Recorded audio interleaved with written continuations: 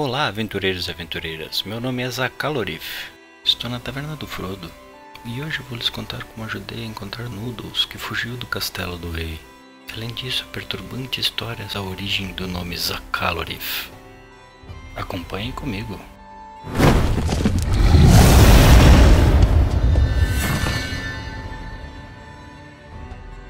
Depois de mais uma sessão de treino nos fantoches, estava me dirigindo ao depósito central quando escutei o anunciante real Tom Cryer gritando sobre o sumiço de Noodles, o fiel cachorro do rei. Foi mais ou menos dessa forma.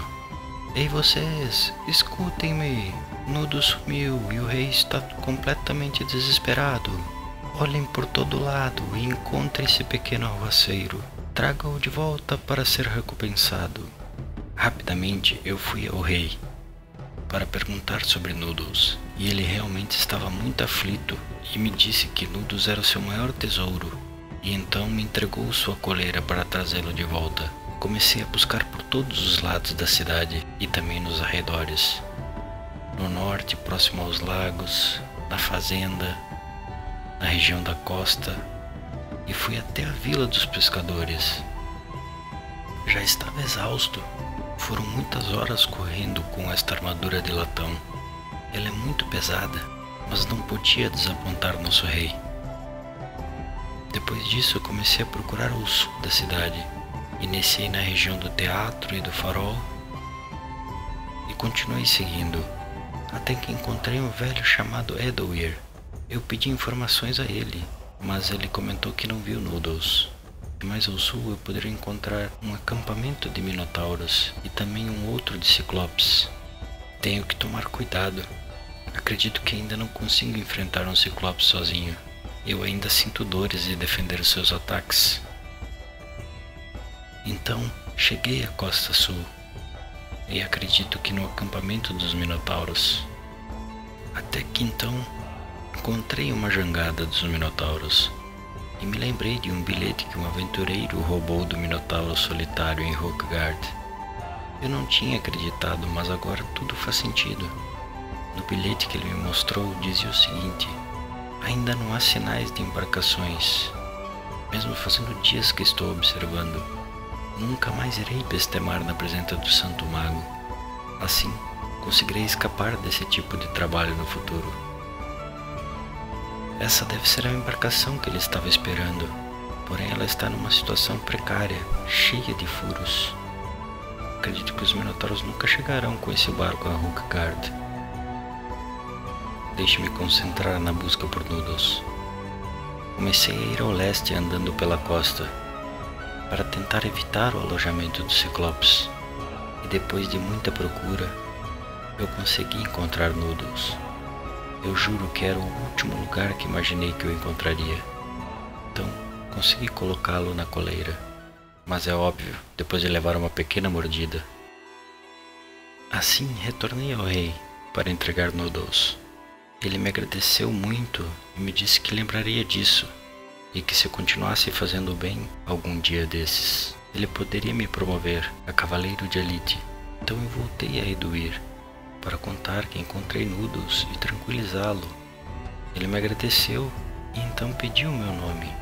Foi quando eu vi na sua cara de espanto quando escutou Zakalorev. Então perguntei por que dessa cara. Ele me disse que o meu nome era o mesmo de um metal antigo encontrado em Tíbia. Então eu pedi para que ele me contasse sobre esses metais. Então ele falou que existem muitos metais mágicos, que os mais conhecidos são Mesh Kagarok, Zakalorif, Utbit, Utmork, Utiamon, Utmaer, Utidum e Zatragil. Então começou me falando que o Mesh Kagarok é conhecido como aço cantante, pois provoca um zumbido durante a sua forja. Dizem que ele absorve poderes mágicos e que provavelmente seja fácil de encantar. Infelizmente, o segredo de extrair ou ainda criar esse metal foi perdido no decorrer do tempo. Então ele continuou dizendo que o Utbit é um aço que absorve magia, mesmo sendo de qualidade inferior em comparação a um aço comum. Já Utmork é conhecido como aço silencioso, ou ainda o aço dos ladrões por não produzir ruído durante o uso e ainda por ser extremamente leve, enquanto o Utamon é o aço brilhante, que é usado principalmente para obras de arte.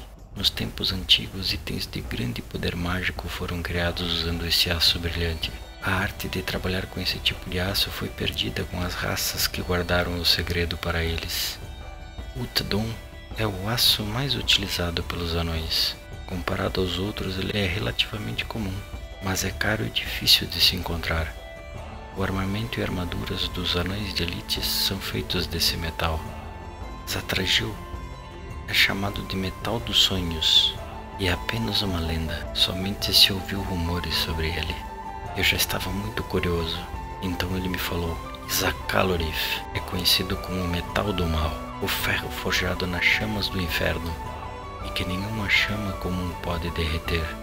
Rumores apontam que pode ser minerado de rochas no inferno, onde as almas condenadas foram presas. Eu senti um calafrio por toda a minha espinha, que doer disse foi muito perturbador. Fiquei dias refletindo sobre isso e ainda não consegui responder o motivo que minha existência foi nomeada assim. O que você acha? Será que eu sou mal? Será que o meu destino é ser mal? Será que um dia encontrarei mais informações sobre a origem de Zakalorif?